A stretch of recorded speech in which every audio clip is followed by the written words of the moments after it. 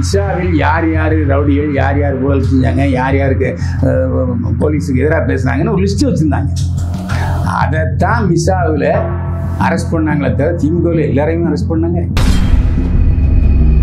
மோலியார் கட்சின்னு எப்போவோ சொன்னாங்க இப்போ திராவிட பாரம்பரியம் இந்த பாரம்பரியம் சொல்லி கலைஞர் வந்த பிறகு மாற்றிட்டார் எதுக்கு இந்த மோலியாருங்கிறத சொல்ல வரணும். அப்போது திமுகவை தாக்குறாரா? பாரஞ்சித் வந்து இந்த வாத்தியாரங்கன் பசுபதி கேரக்டரில் நீங்கள் நடிக்கணும்னு சொல்லியிருக்காரு. ஏன்னா இப்போ சத்யராஜுக்கு தமிழ் தெலுங்கில் நல்ல மரியாதை இருக்குது ஏன்னா அது இன்றைக்கு தெலுங்கில் விரும்பப்படுற ஒரு நடிகராக இருக்கிறவர் சத்யராஜ். அதனால் போய் கேட்டிருக்காரு. கேட்டவுடனே கதையை கேட்டிருக்காரு. கேட்டவுடனே உடனே மன்னிக்கணும் நான் இந்த படத்தில் நடிக்க மாட்டேன் அப்படின்னு சொல்லியிருக்காரு. எல்லா தனி கோர்ட்டுகளை கோர்ட்டுகளில் போய் எனக்கு இந்த வரியை குறைங்க என்ன சொல்கிறதுக்கு உரிமை இருக்குது அதை நீக்கிறதுக்கும் கோர்ட்டுக்கு உரிமை இருக்குது இல்லை கட்டுன்னு சொல்கிறதுக்கும் உரிமை இருக்குது ஆனால் அதை தாண்டி தனி நீதிபதி வந்து விஜயை விமர்சிச்சிருக்காரு. அது ரொம்ப ஏற்புடையதாக இல்லை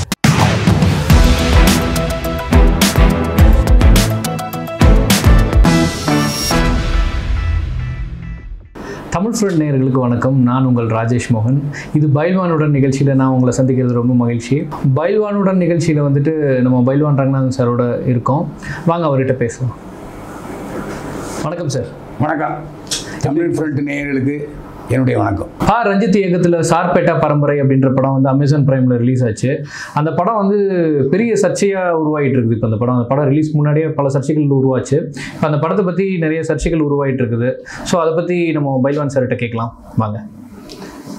சர்ச்சைகள்னு சொல்லும் பொழுது உங்களுக்கு வந்து மைனஸும் இருக்குது ப்ளஸும் இருக்குது அதாவது இந்த படத்தில் என்ன இருக்குன்னு பார்க்க வர்றவங்க சர்ச்சை அதிகமாக விரும்புவாங்க. என்னமோ பேசுகிறாங்கப்பா என்ன இருக்குது இந்த படத்தில்? பார்க்கலாம் அப்படி சொல்கிறவங்க இருக்காங்க. ஆனால் இந்த படம் இதைத்தான் சொல்லுது இப்படி தான் இருக்கும் அப்படின்னு சொல்லிட்டா அதில் ஒரு தேர்ட்டி பர்சன்ட் ஃபில்டர் ஆகிடுவாங்க வரமாட்டாங்க. அட பாப்பா இந்த ஆள் அப்படிங்கிற மாதிரி சொல்லிட்டாங்கன்னா அது ஒரு மைனஸ் எனவே பேசப்படுகிற படம் வேறு சர்ச்சைக்குரிய படம் வேற. சர்ச்சைக்குரிய படமாக இருந்துச்சுன்னா அது வந்து விளம்பரம் நிறைய கிடைக்கும். நிறைய பேச்சுக்கள் வரும் அந்த படத்தை பற்றி ஆனால் இன்கம் வந்து கொஞ்சம் கம்மியாக தான் இருக்கும் என்பது இத்தனை நாள் நான் சினிமாவில் இருக்கிறதுனுடைய ஒரு அனுபவபூர்வமான விஷயம். ஆரம்பத்தில் பா ரஞ்சித் அட்டக்கத்தி என்கிற ஒரு படம் எடுத்தார். அதில் பெரிய நடிகர்கள் யாரும் கிடையாது. எல்லாம் சின்ன நடிகர்கள் தான். ஒரு கிராமப்புறத்துடைய யதார்த்தமான கதையை ரொம்ப அழகாக சொல்லியிருந்தார். படம் சூப்பர் சக்ஸஸ் ஆச்சு. யார் இந்த ஆள்? அப்போ கூட நான் யோசனை பண்ணேன் அட்டக்கத்தின்னு பேர் வச்சுருக்காரு அப்படின்னு யோசித்தேன் ஏன்னா அப்போ அட்டகத்தி வீரர் எம்ஜிஆர்னு சொல்லுவாங்க. ஒருவேளை எம்ஜிஆர் விமர்சிக்கிற படமாக இருக்குமோன்னு நான் நினச்சேன். ஆனால் பேர் மட்டும்தான் எம்ஜிஆர் விமர்சிக்கிற மாதிரி இருந்துச்சு.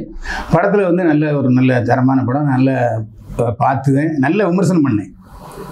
எல்லாருமே நல்ல விமர்சனம் பண்ண படம். யார் இந்த பா. ரஞ்சித் என்று கேட்க வைத்தது அட்டகத்தி படம். ஏன்னா முக்கியமான விஷயம் அதில் சாதி கிடையாது மதம் கிடையாது அரசியல் கிடையாது. அதாவது காதல் இருந்துச்சு. ஆனால் ஒரு ஏற்றத்தாழ்வு ஒரு பெரிய ஜாதி சின்ன ஜாதி ஏழை பணக்காரங்கெல்லாம் இருந்துச்சு. அது சினிமாவில் ஏற்றுக்கொள்ளக்கூடிய விஷயம் விஷயம். அதையே எங்கேயாவது ஒரு இடத்துல ஒரு விஷயம் காம் காமிச்சிருந்தாருன்னா அந்த ஒட்டுமொத்த ப படத்தினுடைய லாபமும் வருமானமும் புகழும் பாதிச்சிருக்கும் பாரஞ்சித்து அதுக்கப்புறம் அட்டகத்தி படம் ரிலீஸ் ஆனதுக்கப்புறம் ஒரு தகவலை சொன்னார். என்ன சொன்னார்னா எனக்கு அட்டகத்தி படத்தில் முழு சுதந்திரம் இல்லை. அப்படின்னாரு. அப்போ முழு சுதந்திரம் இல்லைன்னா எப்படி? முழு சுதந்திரம் கொடுத்தனால படம் சக்ஸஸ் ஆச்சு என்ற கேள்விக்கு பதில் சொல்லும்போது இல்லை இல்லை நான் ஒரு சீனில் அம்பேத்கர் படம் வைக்கணும்னு நினச்சேன். தயாரிப்பாளர் எதுக்கு அம்பேத்கர் படம்? அதெல்லாம் வேணாம் அப்படின்ட்டாரு. ஏன்னா அவர் வந்து அந்த அந்த ஜாதிக்காரரு. எனக்கு தெரியாது. உடனே சரி தயாரிப்பாளர் சொல்லும்போது நாம் எதுக்கு வைக்கணும்னு சொல்லி அடங்கிட்டேன். என்னுடைய சுதந்திரம் பறிபோய் விட்டது என்னுடைய கருத்து சுதந்திரம் முறிக்கப்பட்டது அப்படிலாம் பேசுனது நான் சொன்னேன் சார் நீங்கள் ஒரு பணியாள். உங்களுடைய கற்பனை எந்த அளவுக்கு பயன்படுத்தணும் அப்படிங்கிறது உரிமை வந்து பணம் போடுறவர் தான் இருக்குது ஏன்னா நாளைக்கு நீங்கள் வேற ஒரு படத்தில் டைரக்ட் பண்ணிட்டு போயிருவீங்க. நஷ்டப்பட போகிறது யார்? அந்த தயாரிப்பாளர் நஷ்டப்படுவார். அவர் வந்து என்ன நினச்சிருக்கலாம் கதை நல்லா போயிட்டுருக்கு எதுக்கு அம்பேத்கர் போட்டா? ஓ இந்த பையன் அந்த ஆளா? இந்த பொண்ணு அந்த ஆளான்னு யூகிக்க வைக்கும். அந்த யூகித்தல் வந்து படத்தினுடைய வேகத்தையும் சரி அந்த வீரியத்தையும் குறைச்சிடும் அப்படின்னு சொன்னாருன்னு. அப்புறம் நான் இனி அடுத்த படத்தில் நான் யாருன்னு காட்டுவேன் அப்படின்னு சொன்னார். அடுத்த படமும் கூட பார்த்தீங்கன்னா மிகவும் நன்றாக இருந்தது. அது எப்படின்னா அது தெரியுது. அதாவது பொருளாதாரத்தில் பின்தங்கினவன் ஒரு வறுமை கொடுத்து கீழே உள்ளவன் அவன் தலைவரை ரொம்ப நம்புகிறான் அவன் ஜாதிக்காரனே அவனை ஏமாத்துறான். அந்த மாதிரியான விஷயங்கள். அதாவது நம்ம எப்படி நினைக்கிறோன்னா ஒரு சாதி சிங்கமோ இல்லை கட்சியோ வந்துன்னா அந்த கட்சி தலைவர் தப்பாகவே சொன்னக்கூடாது "ஏ, அவர் நல்லதையே சொல்லுவார். பெரிய மனசையா நம்மளை வாழ வைக்கிறவர் நம்மளுக்கு தலைவர். அப்படின்னு தலைவருக்கு கொத்தடிமைகளாகவே வாழ்ந்து விட்ட ஆட்கள் நாம் இப்போ என்ன பொறுத்தவரை எடுத்துக்கிட்டீங்கன்னா நான் சொல்லணும்ல எம்ஜிஆர் என்ன சொல்கிறாருன்னு அது வந்து நல்லா தான் சொல்லுவாரியா அவர் சிகரெட் குடிக்க மாட்டார் தண்ணி அடிக்க மாட்டார். அவர் தப்பாக பேசுவார் ஐயா. சாரா இடையில கொண்டு வந்தது இல்லையா? அப்படிலாம் அது வந்து நான் என்னையும் உட்படுத்திக்கிறேன். நான் வந்து நான் மட்டும் யோக்கியன்னு சொல்ல வரல. எதுக்கு இதை சொல்ல வரேன்னு சொன்னால் அதில் வந்து ஒரு அருமையான கதைக்களத்தை அனுப்பி வச்சுருந்தார். அதாவது எப்படி வந்து ஏழைப்பாளைகள் ஜாதி சங்கங்களையும் அரசியல்வாதிகளையும் நம்பி ஏமாந்து போகிறாங்கிறத எந்த சாதின்னு சொல்லாமல் எந்த அரசியல் கட்சின்னு சொல்லாமல் தெளிவாக சொல்லியிருந்தார். அதில் வந்து கார்த்தியும் நடிச்சிருந்தாரு. கார்த்தியும் ஏதாவது ஒரு எங்கேயாவது ஒரு இடத்துல அரசியல் கட்சி ஜாதின்னு சொன்னால் அவர் அவங்க அப்பா மறுத்துருவார் அவரும் மறுத்துருவார். ஏய் வேணாம்ப்பா வேணாம்ப்பான்னு ஸோ கார்த்தி கார்த்திக்கு நல்ல பேர் கிடைச்சது. கார்த்தியை விட பாரஞ்சித்துக்கு நல்ல பேர் கிடைச்சது. படம் வந்து ரொம்ப நல்லா போச்சு. மெட்ராஸ் படத்தினுடைய தாக்கம் தான். அப்புறம் பார்த்தீங்கன்னா வடசனி நிறைய படங்கள் வர ஆரம்பிச்சது. அசரன் கூட அந்த படத்துடைய தாக்கம் தான். அந்த ஒரு விஷயத்தில் ஒரு இன்ஸ்பிரேஷனாக இருந்தவர் பாரஞ்சித். நான் அதை மறுக்கவில்லை. அதாவது ஒரு அரசியல் கட்சியால் ஒரு ஜாதி சங்கங்களால் ஏழப்பாளைகள் ஒரு அமைச்சூரிட்டி இல்லாதவன் ஒரு மூளை வளர்ச்சி இல்லாதவன் எப்படி மொட்டையாக தலைவர்களை நம்புகிறாங்கிறத காமிச்சிருந்தார். அந்த ரஞ்சித்துக்கு பாராட்டு. அதில் எந்த விதத்துலையும் நான் குறை சொல்லவே இல்லை இப்போது சார்பட்டாவுக்கு வருவோம். சார்பட்டா பரம்பரைங்கிறது அந்த குரு அடிப்பட்டது கிளப்புன்னு ஆங்கிலத்தில் சொல்ல ஆரம்பிச்சாங்க இவங்க பரம்பரைன்னு சொல்ல ஆரம்பித்தாங்க ரெண்டாவது தமிழ்நாட்டில் உள்ள குத்துச்சண்டை என்பது வேறு. அதாவது ரா- ராஜராஜ சோழன் அந்த மாதிரி வரலாற்றில் உள்ள குத்துச்சண்டை மூஞ்சிலாம் அங்கே குத்துவாங்க. வெள்ளைக்காரன் வந்த பிறகு தான் முகத்தில் குத்துப்படக்கூடாது. ஏன்னா முகம் இதாகிடும் பல்லு உடஞ்சிடும் அப்படின்னு சொல்லி சேஃப்டியாக அந்த ஆங்கிலேய குத்துச்சண்டை தான் இப்போ நடக்கிற குத்துச்சண்டைகள்லாம் இப்படிப்பட்ட சூழ்நிலையில் வரலாறு எனக்கு தெரியும். ஏன்னா நான் இப்போ அந்த சமயத்தில் ஆயிரத்தி தொள்ளாயிரத்தி எழுபது எழுபத்தி ரெண்டு எழுபத்தஞ்சுலாம் நான் குத்துச்சண்டை போட்டி பார்த்துருக்கேன். குத்துச்சண்டை போட்டி வந்து உற்சாகப்படுத்துறது யாருன்னா அப்போதைய திமுக பொருளாளர் மக்கள் தலைவர் எம்ஜிஆர் தான். எல்லா குத்துச்சண்டை போட்டிக்கும் போயிடுவார் பரிசு கொடுப்பாரு. அந்த எம்ஜிஆரை பார்க்குறதுக்குன்னு வர்ற கூட்டங்கள் ப்ளஸ் ஆயிரும். இந்த குத்துச்சண்டை ரசிகர்களுக்கு ப்ளஸ் ஆயிரும். ஸோ எம்ஜிஆர் தலைமையருக்கு பரிசு வழங்குற குத்துச்சண்டை போட்டினா கூட்டம் அதிகமாக வரும். ஸோ குத்துச்சண்டை போட்டியை வளர்த்தவர் எம்ஜிஆர் அதில் எந்த வித ஒரு மாறுபட்ட கருத்தும் கிடையாது. அதனால தான் வாத்தியார் ரங்கன் அப்படின்னு சார்பட்டா பரம்பரை அஹ், ஒரு கேரக்டர் வருது. வாத்தியார். வாத்தியார்னா எம்ஜிஆர் தான் நீங்கள் வேறு யார்? வாத்தியார்னு சொன்னாலே எம்ஜிஆர் தான் அர்த்தம். அப்படிப்பட்ட சூழலில் இந்த படத்தில் அவர் என்ன சொல்ல வர்றாரு? எமர்ஜென்சியை திட்டுறாரா? எமர்ஜென்சியை ஆதரிக்கிறாராங்கிறது ஒரு சரியான ஒரு வழிகாட்டுதலோ இல்லை படம் பிடித்தலோ இல்லை. கலைஞர் மேலே கை செஞ்சிட்டாங்க. ரைட்டு ஆனால் அதே சமயத்தில் ஜெயிலிருந்து வராரு வந்தவுடனே என்னப்பா ஆளைய காணும். அப்படின்ன எல்லாம் முதலியார் வந்திருக்காரு அங்கே பார்க்க போயிட்டாங்க. அப்போ என்ன அர்த்தம்? முதலியார்னு சொன்னால் அந்த டைமில் நெடுஞ்செழியனும் நாவலர் நெடுஞ்செழியும் பேராசிரியர் அன்புலகம் தான். ஏன்னா அந்த காலத்தில் அதாவது ஆயிரத்தி ஐம்பதுகளில் திமுக தோற்றுவித்த பொழுது காங்கிரஸ்காரர் என்ன சொல்லுவாங்க அப்போ எங்கள் அப்பா காங்கிரஸ்காரர் நான் இப்போ காலேஜ் படிச்சுட்டு இருக்கேன் மொழியார் கட்சின்னு சொல்லுவாங்க. ஏன்னா பேரங்க அண்ணா மொழியார் நெடுஞ்செழியன் மொழியார் அன்பழக மொழியார் நெடுஞ்செழியன் தம்பி மொழியார் இதெல்லாம் மேக்சிமம் அங்கே மொழியார்கள் இருந்ததன் காரணமாக மொழியார் கட்சி சொன்னாங்க. திராவிட முன்னேற்ற கழகம் கட்சி ஆரம்பத்தில் இவங்க நினைக்கிற மாதிரி வ- வறுமை கோட்டு கீழே உள்ளவங்க தாழ்த்தப்பட்ட ஒரு கட்சி கிடையாதுங்கிறக்காக நான் இதை சொல்ல வர்றேன்.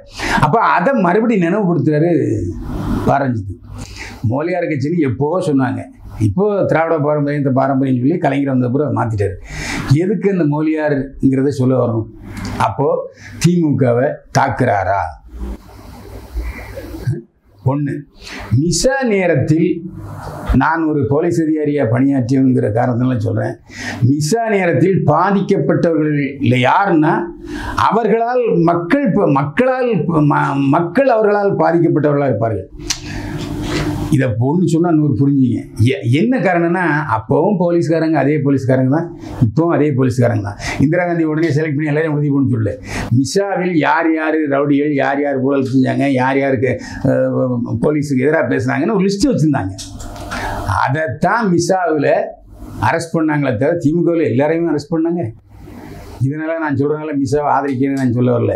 ஆனால் உண்மையிலேயே நான் மிஸ்ஸாவில் சந்தோஷமாக இருந்தேன். ஏன்னா மிஸ்ஸாவில் புரட்சியில் எம்ஜிஆர் சொல்லி நான் வந்து அந்த வருஷம் பூரா மிஸ்ஸா இருந்த நேரம் பூரா காங்கிரஸில் ஜி கே மூப்பனாரோட நான் ட்ராவல் பண்ணேன். மிஸ்ஸாவுடைய சின்ன பாதிப்பு கூட எனக்கு கிடையாது. அதுக்காக மிஸ்ஸாவில் யாரும் பாதிக்கப்படலன்னு நான் சொல்ல வரல. மிஸ்ஸாவை ஆதரிக்கிறாரா? ஆதரிக்கலையா? பாரஞ்சித் அதை தெளிவாக காட்டலை. ஒன்று இந்த சார்பட்டா பரம்பரை இடியப்ப நாயக்கர் பரம்பரை எப்படி மோதிக்கிட்டாங்க?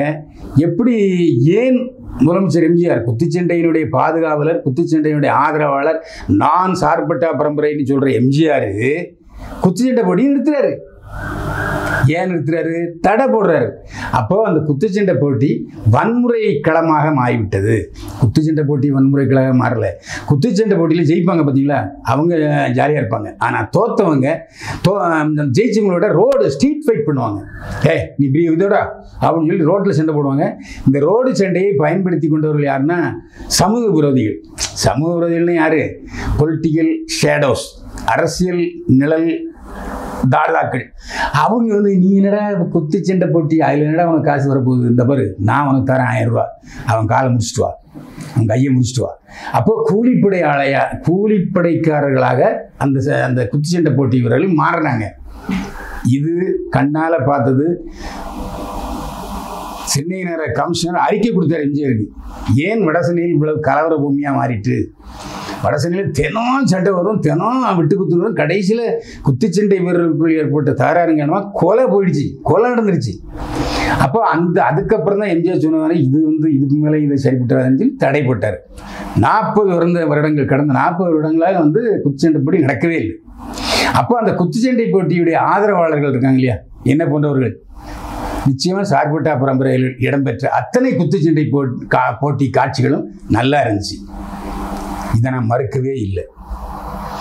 இப்போ சிலர் சொல்கிறேங்க சினிமாவை சினிமா பாருங்க சார் ஏன் சார் அப்படின்னு கேட்குறீங்க அதே நபர்களுக்கு நான் திருப்பி சொல்கிற வார்த்தை நீங்கள் சினிமாவை சினிமாவாக எடுங்கள்.